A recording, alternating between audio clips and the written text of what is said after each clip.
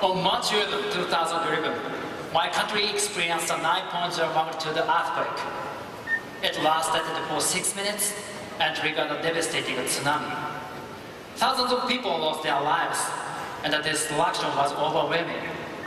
We were left with the aftermath of the most powerful earthquake to hit Japan in recorded history. We are still recovering.